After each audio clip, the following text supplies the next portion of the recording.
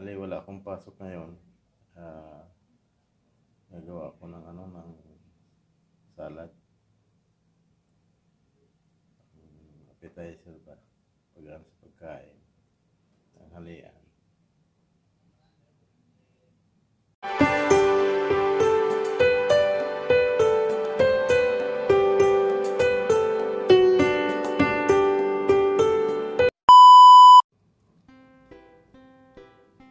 Ito yung gagawin kong ah, salad. Isang labanos na malaki. Kamatis, sibuyas, lemon.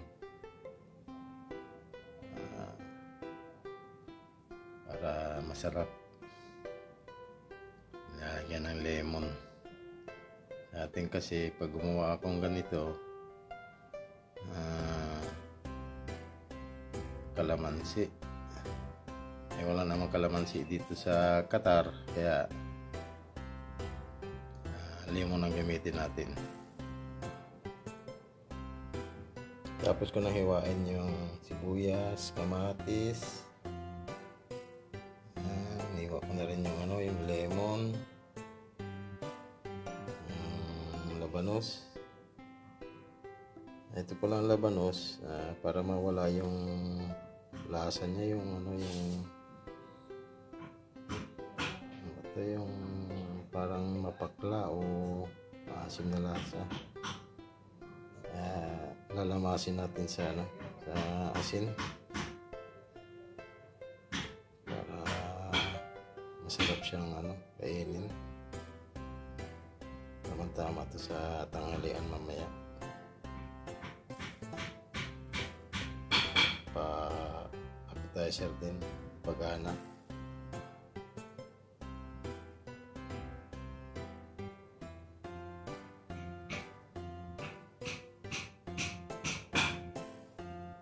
uh,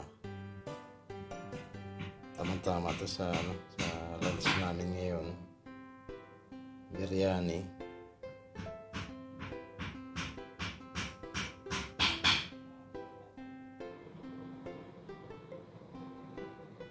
Ah ito na siya. Ilagay ko na sa rice cooker sa malalim para maganda yung pagpiga maganda yung pagka lamas ba? Ah, binabad ko muna ng bagya sa asin. Uh, lalamasin.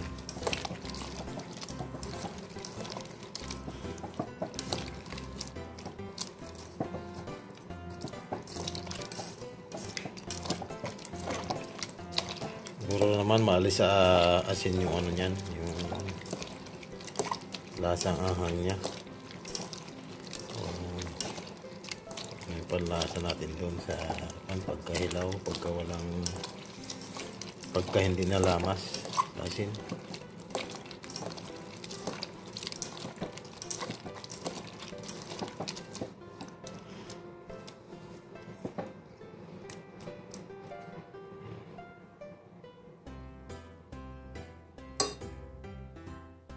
lamasin pagkatapos lamasin uh, ibigaan na natin umalis na yung lasa naman ng asin. Ibigaan na.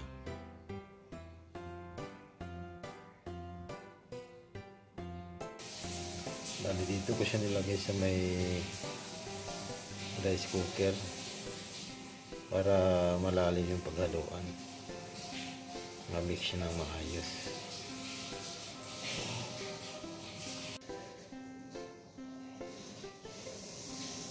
Bali yung paghiwa ko pala ng kamatis, maliliit lang. Tsaka yung paghiwa ng sibuyas para maganda yung paghalo niya. Para sabay din siya dun sa ano sa labanos na maliit din ang pagkahiwa. Kasi kung malaki yung kamatis sa pagkahiwa, eh, may iiwan naman yung iba. naiiwan yung ano yung labano oh. kaya pare-pareho lang silang maliliit yung hiwa kaya para mas marami tignan ayan mimix na natin ayan ihalo natin Gilbert, tumatya, busy ah. Ah, busy. Ayun, nakaya.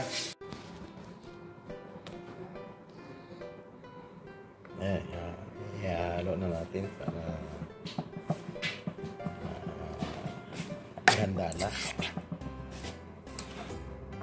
Ganda. Na-mix na ng maayos.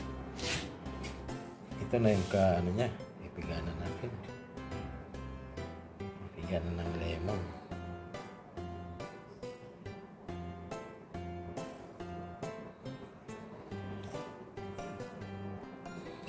Pantim pagtimpla naman dito sa salad, depende na sa panlasa nyo. Depende sa alat. Mm, kasi yung maalat, nasa inyo naman. eh. Yung katamtaman. Kaya yung panlasa, nakadepende pa rin sa inyo.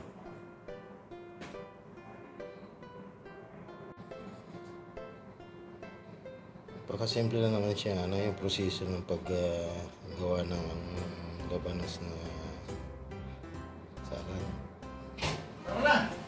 Pagkadali lang ng proseso ng paggawa ng labanos salad. Ganyan lang siya. Hindi siya pagkadali niyang gawin. So, ito na nga yung labanos ah, salad. Tapos din. Madali lang naman ang proseso paggawa niya. Kasi labanos, kamatis, lemon, hindi man, ah, kalamansi pag sa atin. Ganun lang siya. Pwede ng ulam. Gaganahan ka ng ano, kumain nito. Makakarami ka na ng ng kanin nito. Tara, kain na na. Tara, kakain na kami. Subukan na yung ginawang ano, yung labanos salad. Tama-tama at ah, yun nga, biryani yung binigay na pagkain sa amin. Nakapak na. Walang misa kaya dyan na nilagay. Ayun naman buhay OFW. Para-paraan din pag may time. Ayun.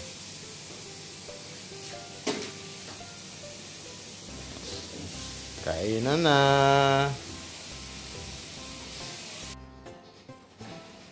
Ayan na, ito nga pala mga kasama ko dito sa kwarto. Nakakasama rin sa trabaho. Tayo Ayan. Yung taga Bataan. Ng lalaki. Ng Bataan. Magandang lagi Ayan naman yung... Taga Bicol. lalaki rin. Taga Bicol. Kain po tayo! Ang ito lang buhay ng mga mahihirap na OFW. Ganito lang ang buhay namin dito, kain tulog. Kain tulog.